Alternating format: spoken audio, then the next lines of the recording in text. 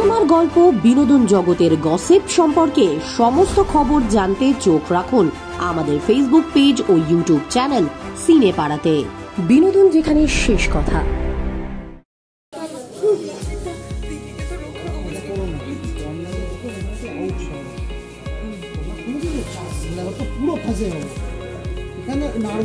আছে কিন্তু।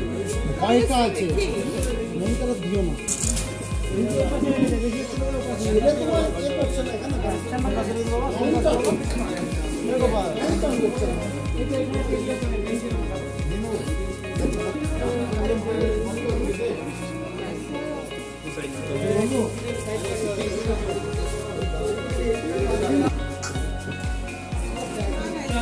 আহ, আবার আমি বিয়েতে বসেছি জোর করে সৃজনকে নিয়ে। তো সৃজন যথারীতি বিয়েটা করবে না পর্ণা বিয়েটা হতে দেবে না। তো এটাই আর কি। তো মানে বিয়ের সাজ সাজতে আমি অভ্যস্ত সো কোনো প্রবলেম নেই। আর সে যে সাজিয়ে দিয়েছে সাজতে ভালোবাসি সে যে বসে আছি বিয়ে ঠিয়ে হবে না সেটা জানি বাট ওকে ঠিক আছে। ভালো লাগছে তো দেখতে। তাহলে এর সাজে সাজতে খুব ভালোবাসি কিন্তু এটা যদি ধরো ওই যেহেতু শুটিংটা একটু চাপের হয় না রেগুলার দশ দিন বারো দিন ওরকম থেকে গেলে তখন চাপ হচ্ছে বাট এমনি এই সাজতে গুজতে তো ভালোই লাগে। আমার খুব একটা এইখানে প্রবলেম হয়নি দুবার আমাদের বিয়েতে দুবারে আমাদের দুদিনের বেশি লাগেনি। The plot. হ্যাঁ স্টোরির যে পুরো বিষয়টা রয়েছে ওটাতে আমাদের বেশি সময় বর্ষা অত্যন্ত ইরিটেটেড কারণ বর্ষা বেচারা জীবনে তো দেখেইছো মানে প্লট অনুযায়ী বেশি কিছু দাবি নেই। কিন্তু এই এদের মানে বোন দুই বোন এই যে ঢুকেছে বাড়িতে অতিষ্ঠ করে মারছে বসা যাচ্ছে না সাংঘাতিক অবস্থা। পড়াশোনা ওই যে আরেকজন। পড়াশোনা লাটে আমার। হ্যাঁ কিন্তু সারাদিন ওকে কলেজ ছেড়ে বাড়িতে বসে থাকতে কিন্তু হচ্ছে এই তিন্নি আবার যদি মেকআপ রুমে না থাকে মেকআপ রুমটা চুপচাপ হয়ে যায়। হ্যাঁ ওটা তিন্নি না নবনীতার। ওটা দুটোই কোনটা যে কখন হ্যাঁ, কোনটা- এই তিন নিয়ে এই নব এই তিন নিয়ে এই নব মানে deadly ব্যাপার। নিজেই বুঝতে পারি না কোন হ্যাঁ। বেরিয়ে যায়। বিয়েটা করার তো খুবই ইচ্ছে করছিল দুবার তো বসিয়েছি তিনবারের বার চেষ্টা করব যাতে করেই নিতে পারি। না আমি থাকব তো পেছনে। ও হ্যাঁ কুটকাচালি করার জন্য ও আছে আমার বিয়ে ভাঙার জন্য। উমা। বর নেই বড় রাজি না বরকে ওই ঘুমের ওষুধ খাইয়ে মানে বিয়েটা করতে হবে। আমার বরগুলো রাজি থাকে না কেন বলতো? কি করবে আর? আমি কি খুব খারাপ।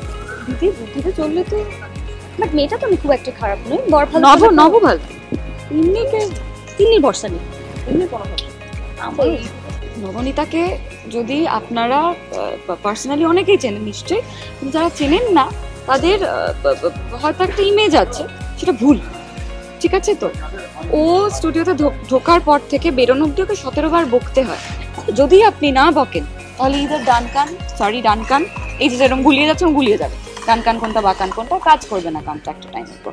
কারণ ও থামে না কোনো ব্রেক নেই। সত্যি নেই? তাই না? সাজতে শুরু করলে সাজতেই থাকে দু ঘণ্টা হয়ে গেল আমরা বেরিয়ে আমরা বললাম যে আসছি একটুখানি এসে দেখো তখন এরকম ব্লাশ করে যাচ্ছে। অভিনয় করতে থাকলে অভিনয় করতে থাকে কখন যে থামবে আমরা জানি না ডায়লগের বাইরে কখন কথা বলছে কখন ডায়লগ ক্যারেক্টারে থাকে তখন কখন কি করছে? হ্যাঁ আমি গরম চা খেয়ে ফেলে খেয়ে পুড়ে যায় মুখ তারপরে তারপর জল খেতে গিয়ে পড়ে গেল। সাংঘাতিক ওগুলো ব্যাপার চলতে থাকে মানে আলটিমেটলি যে মানে আমি প্রচুর জ্বালাই অত্যাচার করি সেটাও নয় খুব সুইট ও। খুবই সুইট ওরা বাচ্চা ও তো বেবি দিল তো বাচ্চা হে জি বেশি বাচ্চা ফাটিয়ে লাগছে কি সবসময় সুন্দর লাগে। সবসময়. সুন্দর লাগে। বললাম না আমাদের টিম গোটা টিম এত মিষ্টি এত পজিটিভ একটা টিম যে যেভাবেই থাকে না কেন তাদের ভেতর থেকে ওই পজিটিভিটিটা এত সুন্দর করে বেরিয়ে আসে কর্ণা যে এই লুকটা করেছে অনেক তো মেকআপ দিয়েছে তারপরে ওকে ভীষণ সুন্দর। আমার তো ভালো লাগে চোখগুলো কত অ্যাট্রাকটিভ লাগছে। এইটা তো আমি জানি না কি চমক থাকছে এটা আমার থেকে নির্বাক নির্জীব নির্বলা বস্তু বুঝি খুব কম লোক আছে যে কিছু জানে। আমি সত্যি জানি না বাট যেটুকুন আমি পাঠ করলাম যেটুকুন আমার দর্শকরা প্রমোতে দেখছে সেটুকুনি আমরা জানি যে আমাদের বিয়েটা এখন আবার হচ্ছে না এখন আবার ক্যান্সেল হলো। কিন্তু গল্পটা এরপর ভালো লাগবে গল্পটা ডেফিনেটলি ভালো লাগবে কারণ এরপর হ্যাঁ। এই যে বিয়েটা হলো না কেন কি কারণ তারপর পর্নার থাকবে কি থাকবে না আবার হতে পারে কি পারে না এত যে টুইস্ট আছে বিভিন্ন রকম সময় তো বিভিন্ন রকম স্টোরি আসছে তো আমার মনে হয় খুবই ইন্টারেস্টিং হতে চলেছে। এতদিন নিমফুলের মধুর যা স্টোরি ছিল তার থেকেও বেশি ইন্টারেস্টিং হতে চলেছে। মনে হয় এবার আপনাদের ভালো লাগবে গল্পটা। এতদিন ভালো লাগতো। না না মানে একটু এম্পাওয়ারিং হ্যাঁ।